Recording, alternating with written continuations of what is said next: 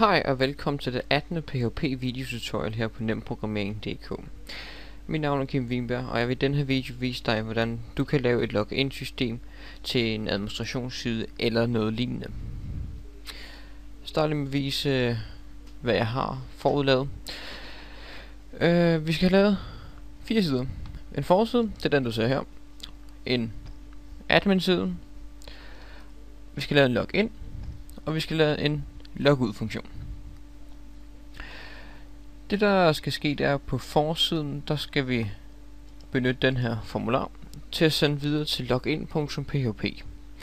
I login.php skal den tjekke om det brugernavn og kodeord vi har indtastet, det er korrekt.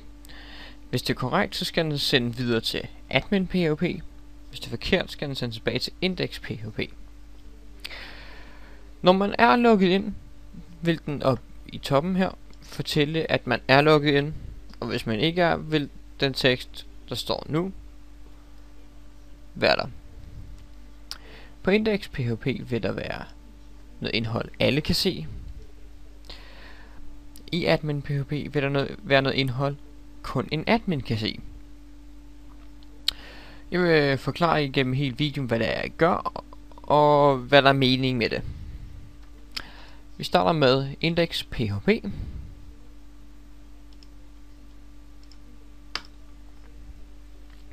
Jeg har forudlavet nogle af tingene. Det er kun HTML-opsætning, så det kan du hurtigt lave. Vores indeks PHP skal sørge for at sende brugernavn og kodeord videre til vores login-fil. Login-fil det er den, der hedder login.php. Vi starter med, at øh, vi skal bruge en session start. Grunden til, at vi skal bruge denne er, fordi at hvis folk er logget ind, så skal den her tekst fortælle, at de er logget ind. Og hvis det ikke er, skal den bare skrive det, den skriver her. En session start if is set session logged in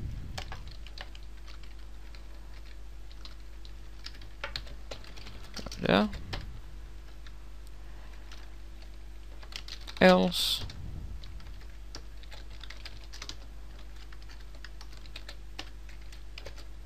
Ja. Hvis session logged in er sat så skal den skrive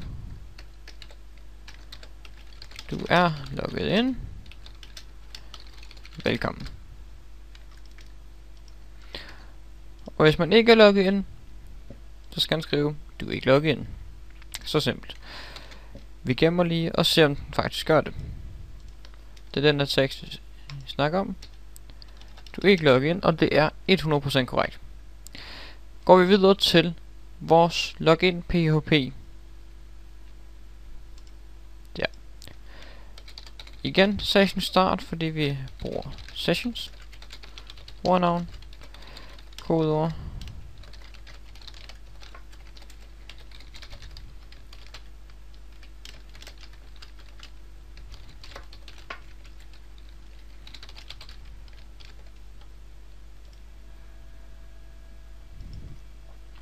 Sådan der.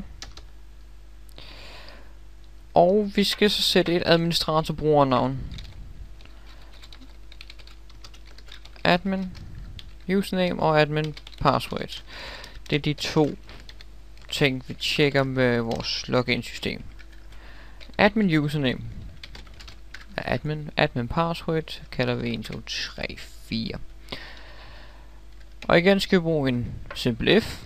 If username, som vi henter igennem vores post username, er sammen samme som admin username.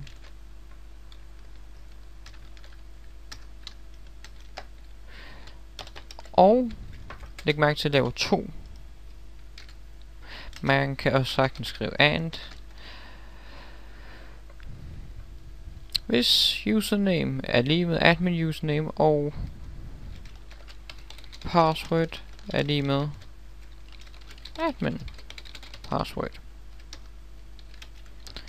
Skal den gøre det der. Hvis det ikke er det samme, skal den gøre noget andet. Det vil godt være have den sendt, når at man logger ind med korrekt password. Der den sætter session logged in og overfører til admin PHP. Og hvis det er forkert, så skal den ikke sætte nogen session, og den skal bare overføre tilbage til index. Starter med den korrekte. Header location, admin, php.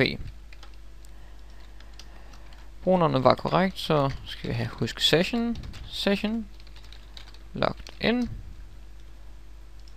er lige med username. Så logged in er det samme som username, og usernamet det er admin. Og så overfører den til admin.php. Hvis det er forkert, så skal vi bare overføre den til index.php. Det er det. Vi tester lige, om det faktisk virker. Vi starter med et forkert brugernavn. Og en forkert kode. Prøv at logge ind. Og jeg er allerede blevet smidt tilbage til index-filen. For at lige gøre det en lille smule nemmere at se, at det faktisk er sket, så gør vi sådan her.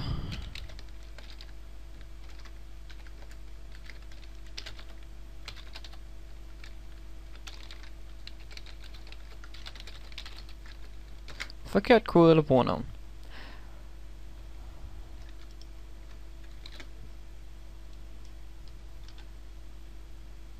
Prøv at logge ind med noget forkert igen. Kan se op her i toppen, står forkert kode eller brugernavn. Det jeg så ved er, at det hele var forkert, eller en af delene var forkert, og derfor blev sendt tilbage. Nu prøver vi med det rigtige.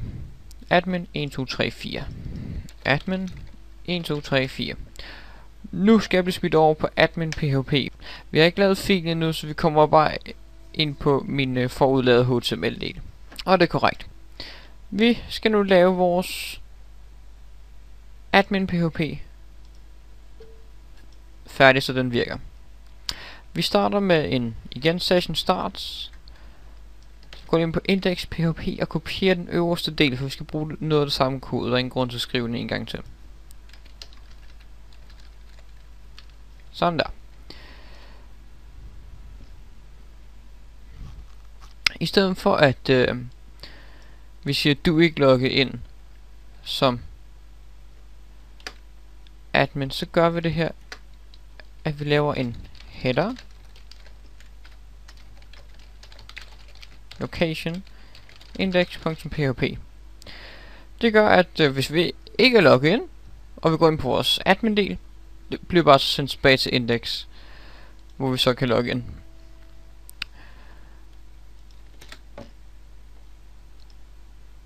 Det er vores admin-del. Mere skal der ikke til. Nu kan du ikke se den her tekst, men du logger ind. Og du bliver bare sendt tilbage til login, hvis der er behov for det. Så skal vi lige lave en logout også, eller en logout, for at lige kunne demonstrere det hele. Igen, session start. Man kan vælge at bruge session destroy.